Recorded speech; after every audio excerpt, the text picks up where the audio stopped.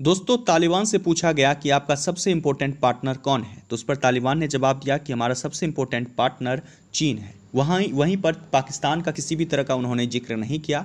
आखिरकार तालिबान के लिए चीन कैसे इंपॉर्टेंट पार्टनर के तौर पे उभरा है और साथ ही साथ इसका क्या इम्पैक्ट पड़ेगा भारत पर, इन सभी चीज़ों को हम इस वीडियो में डिस्कस करने वाले हैं। तो दोस्तों, इस वीडियो को शुरू से अंत तक देखें। हेलो दोस्तों, मेरा नाम है राजीव और आप लोग देख रहे हैं टुडे हिंदुस्तान न्यूज़ वेल बात कर ली जाए तो तालिबान की तरफ़ से ये जो स्टेटमेंट आया है कि चीन उसका सबसे ज़्यादा इंपॉर्टेंट पार्टनर है। वहीं चीन की तरफ़ से तालिबान को ये हिंट मिला है कि वो तालिबान को फाइनेंशियली एड प्रोवाइड करेगा, यानी कि फाइनेंशियल सपोर्ट देगा। वेल तालिबान को चीन के फाइनेंशियल सपोर्ट की क्या ज़रूरत पड़ने लगी?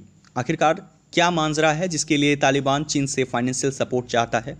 तो आपको बता दें कि यूएस ने, जी हाँ यूएस ने अफ़गानिस्तान के तकरीबन 10 बिलियन डॉलर, जी हाँ 10 बिलियन डॉलर जो कि फॉरेक्स रिज़र्व थे, उसको ब्लॉक कर रखा है। जी हाँ तालिबान से पहले जितनी भी सरकारें थी अफ़गानिस्तान में, जी हाँ चाहे अशरफ गनी की हों, चाहे किसी और सरकार की हो, उन सभी ने अभी तक जितने भी अपने प्रोडक्ट्स को बाहरी देशों में एक्सपोर्ट किया उससे जितने भी उन पर कस्टम्स और ड्यूटी लगाकर पैसे कमाए, चाहे वो फ्रूट्स हो नट्स हो, अफ़गान रग्स हो या उल हो कॉटन हो। जी हाँ इन सभी चीज़ों को बाहरी देशों में वो एक्सपोर्ट करते थे और उससे जो उस पर कस्टम और ड्यूटी लगाया जाता था, उससे जो टैक्सेस के पैसे आते थे, उसे अपने बचत यानी कि रिज़र्व में रखते थे। और रिज़र्व रखने के लिए उन्होंने the Federal Reserve Bank of New York York इस्तेमाल किया, यानी कि वहाँ के बैंक में उन्होंने अपना पैसा यूएस डॉलर में सेविंग करना स्टार्ट कर दिया था। वो जो पैसे थे, उन सभी पैसों से तकरीबन अभी तक 9.5 बिलियन डॉलर हो चुका था। और बात कर ली जाए तो आपको पता होगा कि अफ़गानिस्तान की कुल आबादी 3.8 करोड़ है और इसका एक साल का जो बजट होता है, वो तकरीबन 5.5 बिलियन डॉलर का होता है। जी हाँ एक साल का जो अफ़गानिस्तान का बजट होता है, वो 5.5 बिलियन डॉलर का होता है, जिसमें से अफ़गानिस्तान के तकरीबन 9.5 बिलियन डॉलर जो है, वो the federal bank of New York जी हाँ the federal reserve bank of New York में उन्होंने सेविंग कर रखी थी, लेकिन दोस्तों, जब तालिबान की सरकार आई तो यूएस ने उन पैसों को ब्लॉक कर दिया।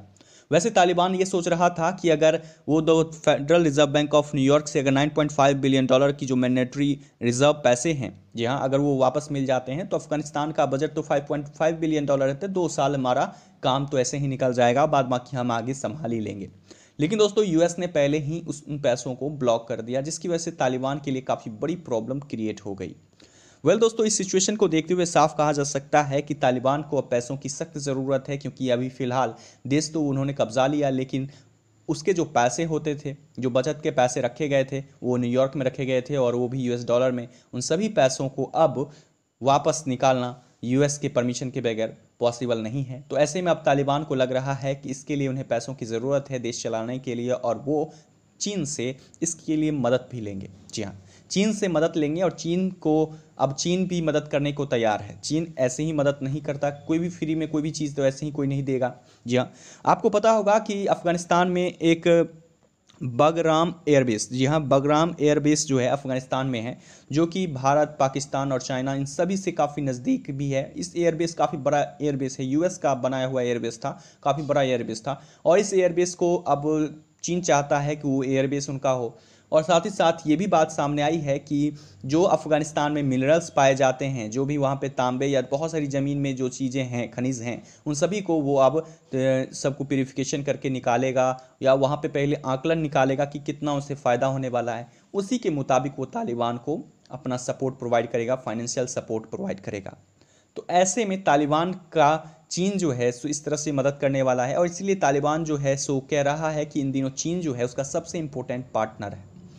वेल well, दोस्तों फ़िलहाल इसको देखते हुए साफ़ कहा जा सकता है कि तालिबान के लिए जहाँ पर ये काफ़ी बड़ा फ़ायदा दिख रहा है वहीं चीन के लिए भी काफ़ी बड़ा इसमें फ़ायदा है। जी हाँ बगराम एयरबेस एक ऐसा एयरबेस है जहाँ से वो भारत के लिए काफ़ी बड़ी प्रॉब्लम क्रिएट कर सकता है। भारत के काफ़ी नज़दीक है और काफ़ी बड़ा एयरबेस है। जी हाँ। यहाँ तक कि तालिबान चीन का कठपुतली बन चुका है। जी हाँ आपको बता दें कि चीन कहेगा तालिबान को कि भाई कश्मीर मुद्दे को फिर से उठाओ, कश्मीर इशू को फिर से रेज करो तो तालिबान इसमें भी पीछे नहीं हटने वाला है। इस मुद्दे को फिर से वो रेज करना स्टार्ट कर देगा। और हाल ही में इसका सबसे बड़ा सबूत ये है कि तालिबान के जो स्पोक पर्सन हैं, सोहेल शाहीन उन्होंने स्टेटमेंट दी थी कि वो कश्मीर इशू को लेकर भी, जी हाँ इशू को रेज कर सकते हैं। उनका पूरा अधिकार है कि कश्मीर इशू को लेकर वो आवाज़ उठाएँ।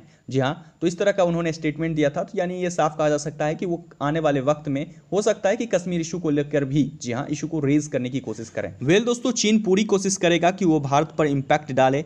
वेल दोस्तों, आपको क्या लगता है? इन सभी चीज़ों को लेकर आपके क्या रिएक्शंस हैं। आप क्या सोचते हैं इन चीज़ों को लेकर? नीचे कमेंट्स में अपनी ओपिनियन ज़रूर शेयर कीजिए और साथ ही इस वीडियो को लाइक कीजिए। अगर आप ये वीडियो यूट्यूब पे देख रहे हैं तो चैनल को सब्सक्राइब कीजिए। वहीं आप अगर ये वीडियो फेसबुक पेज पे देख रहे हैं तो पेज को फॉलो कर लीजिए, जिससे आपको हर वीडियो का नोटिफिकेशन मिलता रहेगा। मिलते हैं अगली नई रिपोर्ट में, जो कि होगा आपके लिए काफ़ी खास।